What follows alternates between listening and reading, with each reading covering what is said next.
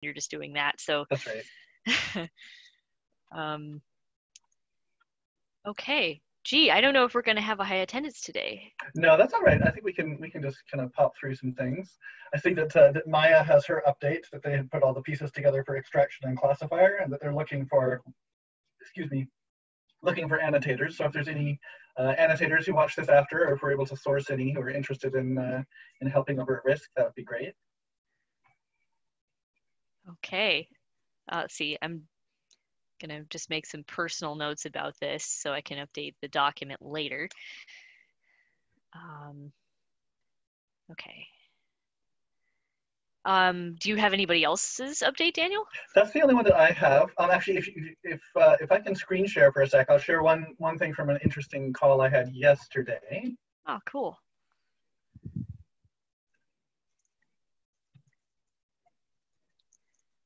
I'll need you to enable that though.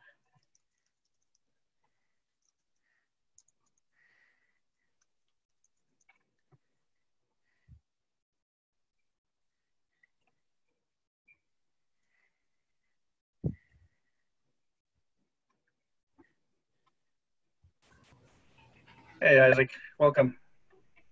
Hi. Going over a couple things. Um, but yeah, so Shannon, I know you're also taking notes, but if you have a sec to, to enable my screen share, then I'll uh, I'll toss Oh, something on there. sorry. No worries. Um, multiple. Wait a minute. Uh, do you know? I'm looking at advanced sharing options. I don't know. Oh, all And- participants. Okay. Perfect. Okay. Okay. Are you good now? Yep, that does the trick. so this is, um, I had a talk with one of the founders of um, Mattermore.io, and excuse me, their basic idea is to is to build a platform. They they they've built a platform that allows people to toss up different specific challenges or problems that a group is having, um, and then try to source people who are able to to help um, with the solution of that. So kind of building a collaboration tool. Um, they would be happy to work with us. Uh, so it was it was only Tianan that I talked to. Um, they're happy to um, have us set up some accounts on there. Um, they're happy to work with us around things like maybe API um, access to it and such. I was thinking we might be able to tie it um, or look at whether we could tie it to the script that uh, Anselm built, where we're able to list the tasks that we need help on this could potentially be another way for us to kind of throw that out to the wider public and an interesting way to do a little bit of, of recruiting on that, but also a place where we can find folks who are working on specific challenges within uh, COVID-19, where the things that we're working on or where our teams may be useful. So both as sort of a, uh, a provider and as a, as a recipient, it may be a, a neat place for us to check out. So I'm gonna post a link about that onto um, General um, with a little bit more information, and then we can see if we can put a couple of accounts on there and and just check out the landscape there to see if it's something that's going to end up being uh, being a, a handy thing. Okay. Great. Thanks for the Lauren, better? update. I see Archer is here as well. We've got an, a sort of a cozy group today, Archer. That's perfect. Um, so so far we we've mostly we've covered Maya's update through Daniel. Daniel was just sharing about his meeting from yesterday. I was asking about this letter from Dimitri that I saw in general literally uh, minutes before I started this Mhm. call. Um, and I haven't read it yet, but it sounds like it's sort of a big deal. Yeah, uh, it's actually great because uh, Dmitry is, is a huge advocate of open science and knowledge sharing, and it's very relevant to what we're doing. And he has been kind of lurking for a while, and now he he activated, which is very exciting. Yeah. All right. Um, Okay. well, Isaac is here, and Isaac, you know we always want to hear from you. absolutely. Um, so yeah, for my team, I guess the major thing was, um, yeah, so we we're still working on kind of more robust evaluation metrics because we're still not sure if we're just overfitting to the couple weeks we're testing on. So we're working on adding that. We open sourced the main forecasting library, which had primarily previously actually been used on another project for flash flood and river flow forecasting. So We're hoping to make that into a general time series forecasting library since it's already been used on two different forecasting stuff. Um, yeah, and so, oh yeah, and confidence intervals. We now have confidence intervals for our predictions. So not just like what the prediction is, but also a 95% confidence range for where the coronavirus cases will be, um, you know, end days from now. So uh, that's kind of what we've been working on. That's great. Yeah. This I think is going to be especially interesting considering the the new reopening procedures and also just the increase in gatherings variously. Yeah. Yeah. I wonder if, if we haven't done it yet, Isaac, um, would there be uh, a time that we could set up to just do a quick little uh, Zoom video with you and record it? Uh, that's, that's just a synopsis of what it is that the team is working on and kind of the current state of that.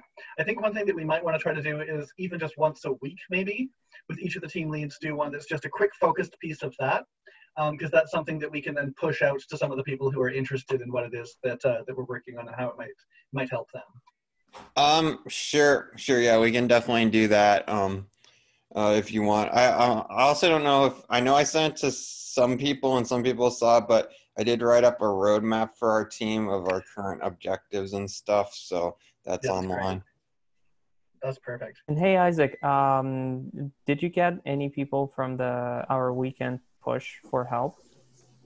Um, no, that's like still another area we need to work on. Is that, as I said, persisting data. So I didn't get anyone responding directly as kind of um, for the on the data kind of data architecture engineering side, which is. Do you think we we should actually ask for different type of people, more like DevOps versus uh, Python engineers, because it may be irrelevant request to those people that I sent out because I sent it to 29 people, and if none of them replied, that most probably means it's uh, irrelevant or like not that relevant.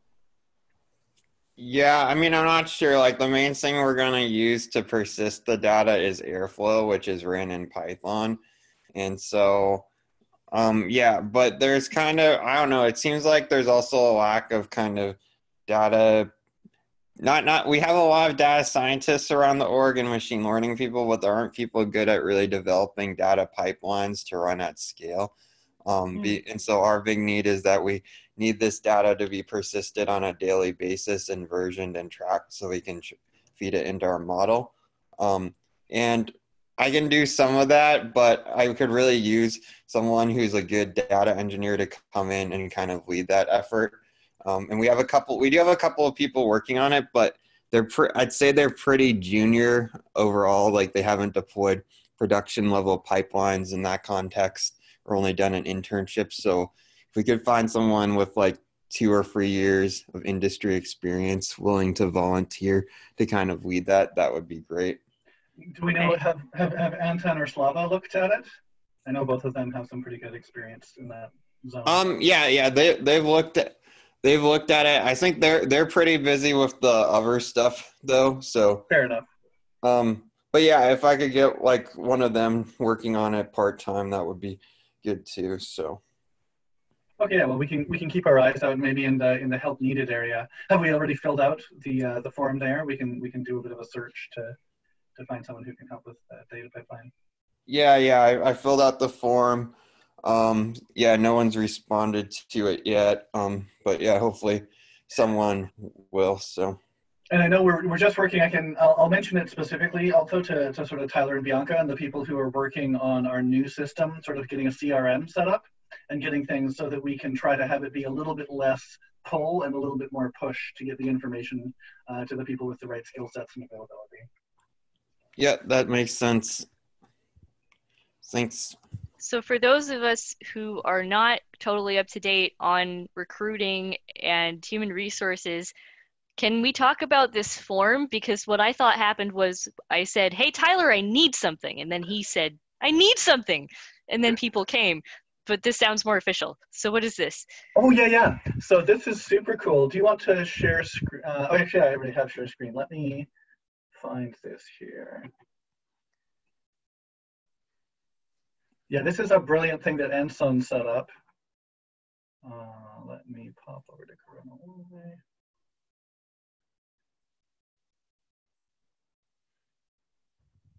And we'll get to our help needed so yeah, so if I need help on something or other, uh, the little blue, you can see my screen, yeah?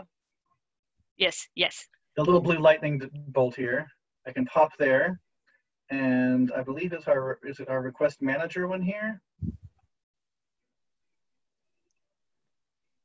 And now I can type in, uh, Isaac needs help with developing a stable, robust data pipeline.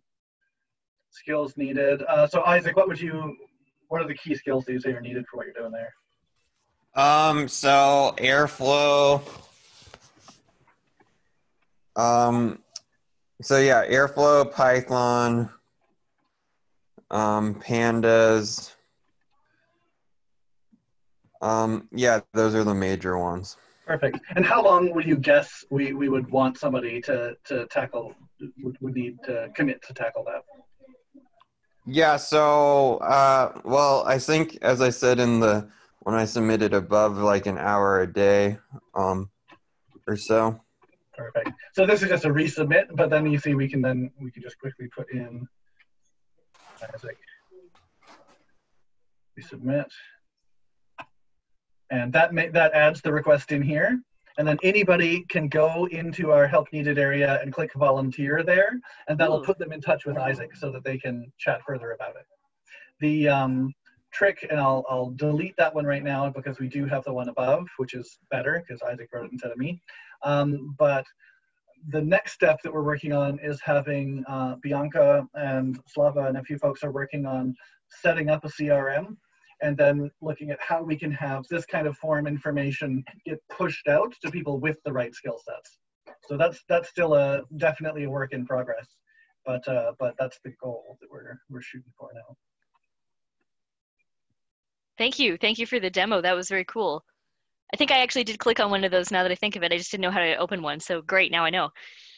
Um, okay. I'll be, yeah, I'll be taking a look at that too. Um, and another thing also is um, I can, I've been holding off on this post I was going to make at work. I think I, I can make it today and I can add this to the, we need this and maybe someone will see it. That'd be great. Okay. Um, all right. Very cool. I see that Fatma joined us as well. Fatma, do you have anything you want to share with us?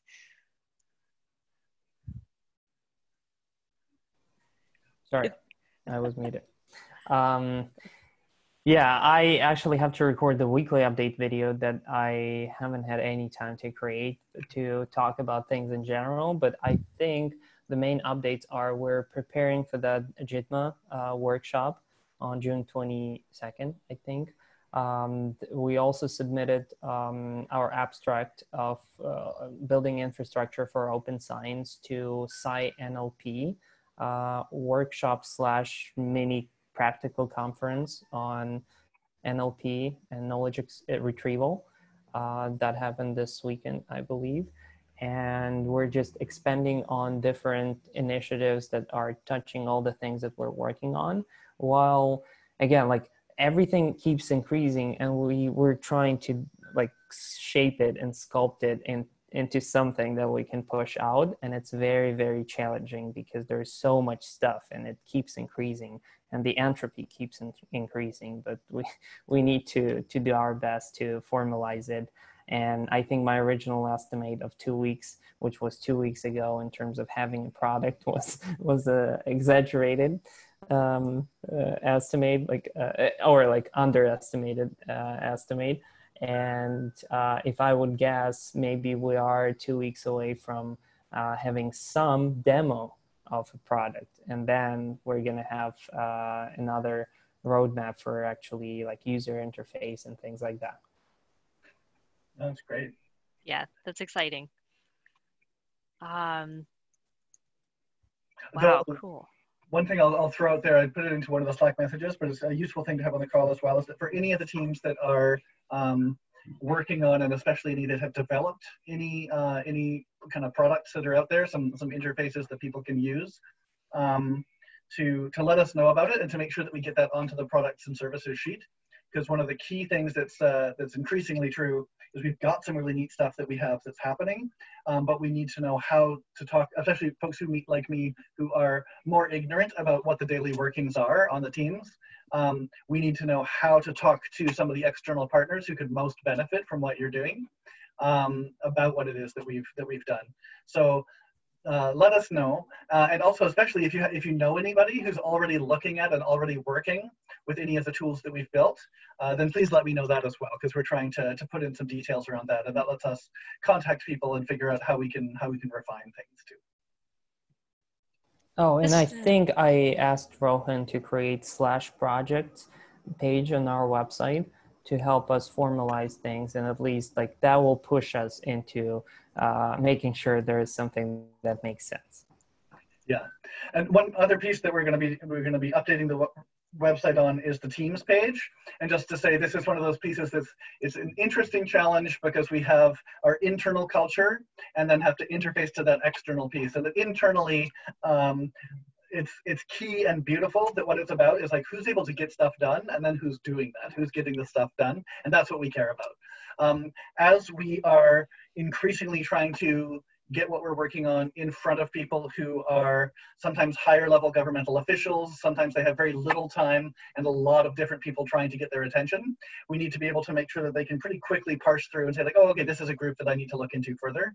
And so for that, we're also going to be adding some of the more traditional pieces of, you know, it doesn't have to be an org chart, but we'll be listing a few a few of the team leaders and a few of the pieces that are there to really hold those people up uh, and to, to show the, the traditional credentials that we also have uh, on the team.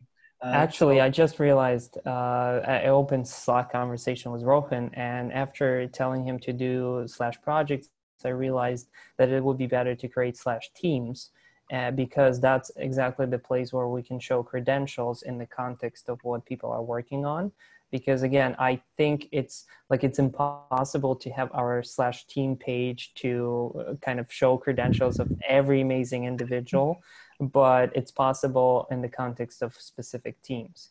So you know we would have a team which is team patient forecasting where isaac would be a leader with uh, certain credentials and certain expertise and serge would be in there with his epidemiology and other things. And yeah i think teams make it makes it possible to do that yeah. all right I, I think that's a great idea I, I feel like it would be a lot easier to explain to new people joining like kind of what's out there I had that experience too. I think when I, I, when I was back at university, I was in the robotics club, and it was great to join because they had they had a good page that said, "Here's what we're doing. If you wanted to join, here's what you could do too."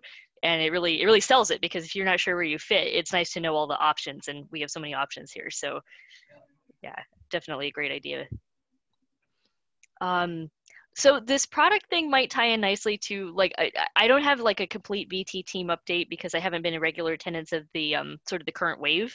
Um, but I have been like we've been regularly having our software dev meetings. So mostly we've been taking the approach so far of doing most of our software overhaul stuff on the kind of a version of the round one submission. So there's now a dedicated branch that's kind of supposed to like it's supposed to represent the round one submission, which was initially not sort of Gitified. It came from Git sources that were like plopped into a notebook, and then we sort of resorbed it. Um, and uh, the the goal I think was sort of to be like, well, if we wanted to deploy the round one submission outside of the context of Kaggle, like let's make a place where that would be possible. And then maybe if we learn some good procedures, we could we could use the same uh, best known methods we've we've picked up. We could use going forward on on future branch work. Um, so we've been doing that and i have to, th- this thing about who can get what done is, it hits home because i keep sort of signing up to do things and then the people who actually have time to do them get them done before i get to them um, which is which is fantastic. We have a couple of guys who are sort of between things right now so they're like they're like yeah this is what we have time to do right now and that's what we're doing and it's really exciting. We have um, been already applying uh, some stuff from charlie hoyt's talk uh, which I'm yeah, this is it's starting to look more uh, pr- productizable, more maintainable. I'm getting getting excited. We have unit tests now that Jen put together. Um, and I don't know. Okay, I have the old version of this like sitting next to me because I, I, refer to it whenever I'm looking at the code. But like a while ago, I was the complaining. Holy Bible of vaccines team. Yeah. it is yes, and and there's by the way, there's a good version of this, and I don't know if everyone on the call has seen either the the old version or the good version. Um, but um, basically i was i think in our early software dev meetings i was sort of like well we have to figure out like sort of what would the block diagram for the code be and um, luckily i didn't have to do that and dan just went through and did it um, and the interesting bit the product bit is the bit at the bottom the poorly highlighted bit with the squigglies around it. Mm-hmm. Um, and so basically, each of these would be theoretically like a different web interfaceable dashboard. Um, so if, if it's not, is it, I don't know, is it legible or should I read them off? Uh, reading them's not, not a bad thing. There's some of them are legible. Okay, so I have to turn it around. Okay, so uh, Maybe one you is. can take a picture and actually send it to general and. Oh, I'll send the good one. one. I'll send the Yeah, good yeah. one, the like the print one that is Cool. legible and color coded. Um, but uh, yes, I mean just to run through them, there's a drug drug treatment candidate extractor, Cord19, PPI. Um, I can't read this part. A adjuvant therapy extractor, clinical lit pharmacology dashboard, and uh, COVID-19 drug treatment meta discourse visualizer. Um, I don't know to what extent this has evolved, but it, presumably there's some version of like the bullet point products. I don't know, like if they're, they're probably not product ready. On the other hand, if we had kind of a real customer, that would also give us a little bit more specific spec to work from instead of just kind of guessing and taking from like discovery engine specs, which is fine. But maybe, you know, since we're talking about making a list, I'm now Yeah. wondering if we should engage Dan in this conversation actively because it seems like he was able to list those off pretty readily. Absolutely, and I think that, that if we can get those um, for each for each area within the kind of that products and services sheet, we have something around like you know what's the name, what what's the goal with it, and what's its status, and we can have like here's the things that are finished, here's the things that we're planning, but in the middle there's the kind of that key area which is where a lot of these fit, where like we have something to tinker with, but if we can get somebody who's in the right field tinkering with it with the team, uh, then then that'll that'll be great and can help the team in, in developing things. So for sure, if we could get each of those different pieces listed onto that products and services page, then I can try to find some time this week uh, to go through and just talk to whoever the relevant team leads are for the different sections of those, um, so that we can we can pull out and say, okay, you know, your ideal client. Who does what does that look like? And then we can see if we can find some people who, who would be interested in experimenting with it. Okay, very cool.